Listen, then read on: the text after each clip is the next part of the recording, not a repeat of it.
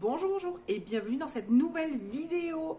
Euh, on a retrouvé la fraîcheur, ça y est, on a eu de la pluie cette nuit, la canicule c'est fini et tant mieux parce que là euh, on a passé des journées à 40, c'était quand même assez suffocant. Voilà, on restait dedans, on restait enfermé, pas agréable du tout. On est parti à la mer euh, la semaine dernière avec les garçons, donc tous les quatre on s'est régalé, on n'a pas souffert de la chaleur, on était à la Grande Motte dans l'Hérault pas trop de monde, super. Euh, et là, quand on est revenu la semaine dernière, ça a été catastrophique.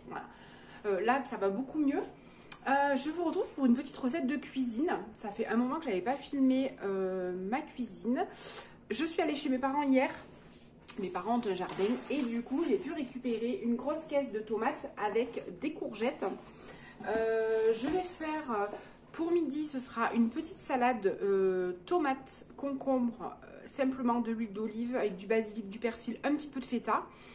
Euh, il me reste un petit reste de, riz basmati au frigo et euh, j'ai des petits cubes de poulet, du blanc de poulet coupé tout simplement. Je vais tout simplement le paner avec ma chapelure, donc je sais pas si... Euh, je pense que j'avais fait une vidéo sur la chapelure, je me rappelle plus. Donc c'est du pain rassis bien sûr que je mouline. Je rajoute à l'intérieur de l'ail en poudre et du mélange lyophilisé de salade. Vous savez qu'on trouve à, moi je le prends à Aldi ou à Lidl. C'est sous forme euh, de petits, comme ça, là, de petits bocals. Donc là c'est de la persillade et c'est mélange pour salade. Donc je mélange ça là-dedans et je fais ma chapelure avec. Ça donne un goût, c'est excellent. Donc je vais paner mes petits poulets avec ça. Euh, avec les courgettes, je pense, alors pas aujourd'hui, hein, ce sera dans une prochaine vidéo.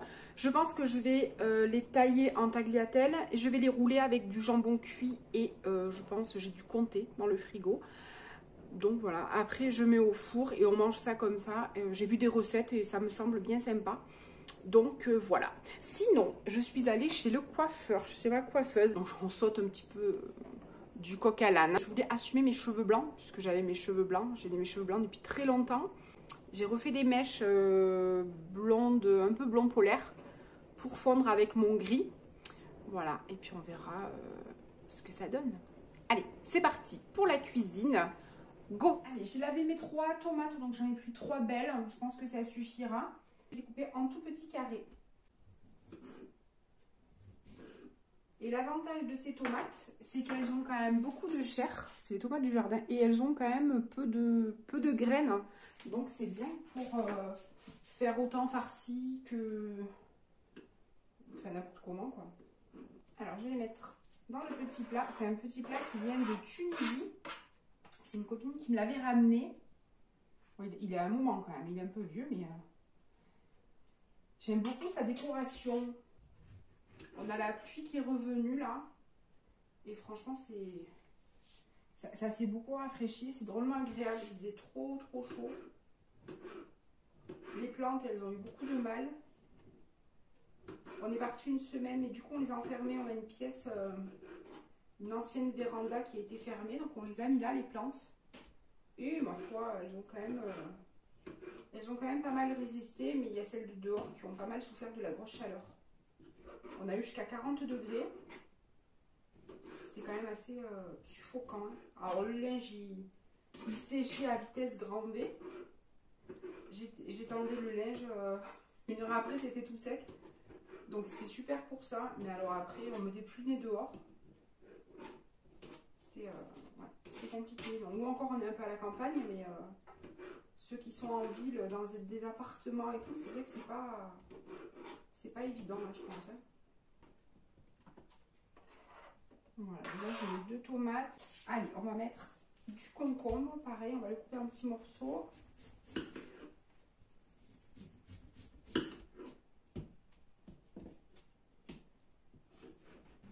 Voilà, j'ai coupé en tout petit concombre et tomates. On va aller dans le jardin chercher du basilic. Parce que j'ai du basilic frais dans le jardin, donc ça c'est super.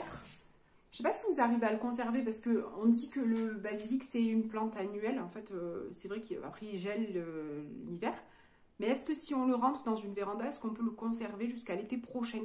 Dites-moi en commentaire, s'il vous plaît, si vous avez un basilic. Sur euh, Facebook, il y a des groupes de cuisine et elles ont des basilics, mais qui sont énormes et qui n'ont pas euh, trois mois. Enfin, on voit que c'est des basilics qui sont euh, dans des jardinières, mais qui sont énormes. Donc, dites-moi si vous aussi, vous arrivez à conserver votre basilic et comment vous faites surtout. Allez, on va dans le jardin. Voilà, donc la bête est là. Alors, il y a des côtés qui sont plus jaunes qui a vu peut-être trop d'eau passer un moment. Puis là, quand on l'a enfermé, qu'on est parti, on l'a mis dans la pièce. Et du coup, il a fait plein de nouvelles pousses, bien vertes. Donc euh, voilà. Mais là aussi, il y est bien, bien verte, verte foncée même. Donc à voir. Dites-moi si vous arrivez à le conserver d'une année sur l'autre et comment vous faites.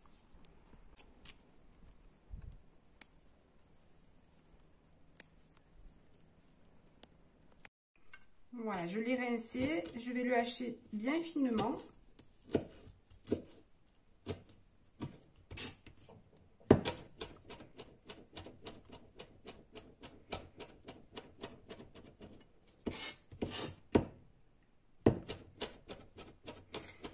il sent trop trop bon. J'ai pas fait encore euh, la soupe aux pistes cette année. Il faut que je m'en occupe quand même de la faire. Parce que c'est quelque chose que j'aime bien faire toutes les années. Est-ce que vous la faites vous aussi Dans le sud, hein, c'est une soupe euh, qui se fait, euh, vous devez sûrement connaître, avec des légumes et des petites pâtes. Et le pistou, donc c'est...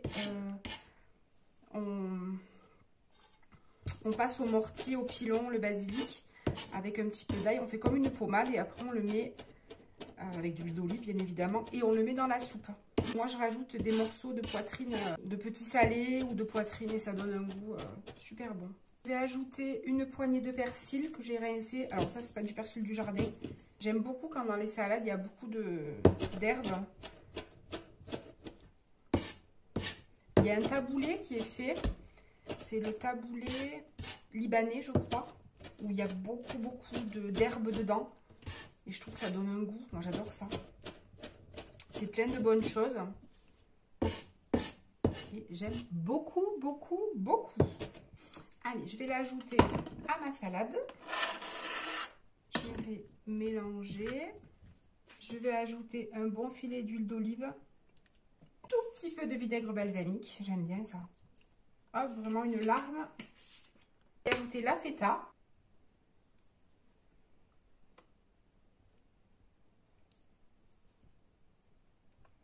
J'en mets pas forcément beaucoup. La salade est prête. Je vais la conserver au frais euh, jusqu'à ce qu'on mange. Donc, euh, le plus tôt vous la faites, en fait, au plus euh, ben, l'huile d'olive, un peu de vinaigre, vous assaisonnez comme vous voulez. Ça imprègne bien les petits dés de, de légumes et c'est un régal. Je vais m'attaquer aux petits morceaux de poulet. Voilà, c'est des tout petits morceaux. Je vais passer dans l'œuf et dans la chapelure et que je vais faire frire à l'huile. Allez, donc je vais tout simplement casser un œuf que je vais bien battre. Je vais mettre de la chapelure dans ma boîte. Je vais mettre mes morceaux de poulet dans l'œuf pour bien les mélanger et les imprégner. Ensuite, je vais prendre, je vais essayer de les égoutter au maximum. Et s'il reste de l'œuf autour, c'est pas grave, au contraire.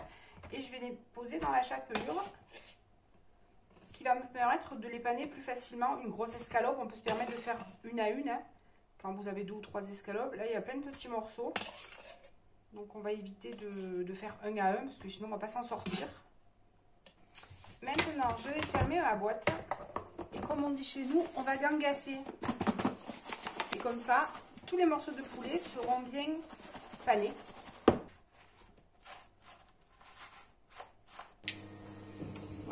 L'huile soit bien chaude, qu'elle ait recouvert toute la, poêle. Et je vais mettre mes petits morceaux, mes petits morceaux de poulet à cuire. Et cette chapelure là, c'est un régal. Vous avez de l'ail, des herbes. C'est un régal. Les enfants, ils adorent. on aime tous les quatre d'ailleurs.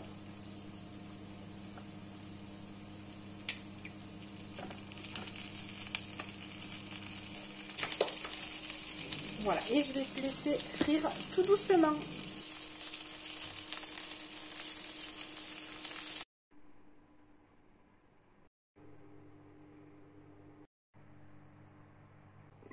Allez, je vais dresser tout ça dans une assiette que j'avais trouvée à la ressourcerie. Donc, je sais pas si c'est une assiette qui est très... Euh, qui a de la valeur, je pense pas. J'aime beaucoup la déco. Un petit peu de salade sur le coin de l'assiette. Ça fait un mélange de chaud-froid aussi. Ça, j'aime beaucoup.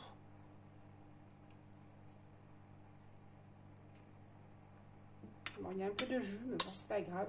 Quelques petits cubes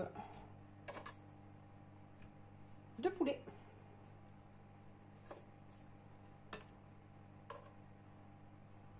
Comme ça. Et je vais finir par dresser dans un emporte-pièce. Dans un emporte-pièce, c'est joli. Donc je vais mettre du riz, c'est du riz basmati.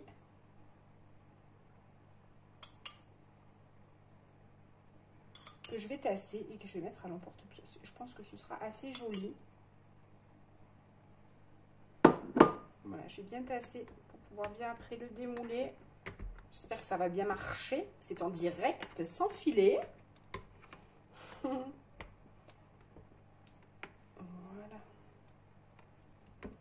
Hop.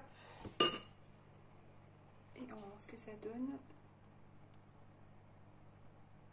Hop là. Ben, c'est pas vilain, dis donc. Voilà. On va mettre un petit et puis voilà. Voilà une petite assiette euh, sympa, j'aime beaucoup, euh, gourmande, colorée, donc ça donne envie. Donc vous avez des protéines, vous avez féculents et vous avez des légumes, euh, des crudités. Donc une petite assiette bien sympathique. Donc c'est cuisiné aussi avec des restes. Vous voyez, il me restait du poulet, du riz. On a toujours en gros des tomates ou des concombres. Ou, on peut le faire avec n'importe quelle crudité, des carottes râpées, n'importe quoi. Donc voilà, la petite assiette, je suis bien fière. Donc si ça vous plaît, n'hésitez pas à mettre un petit pouce, commenter, n'hésitez pas à vous abonner. Euh, je vous souhaite une très bonne journée, je vous souhaite un très bon appétit et je vous dis à très vite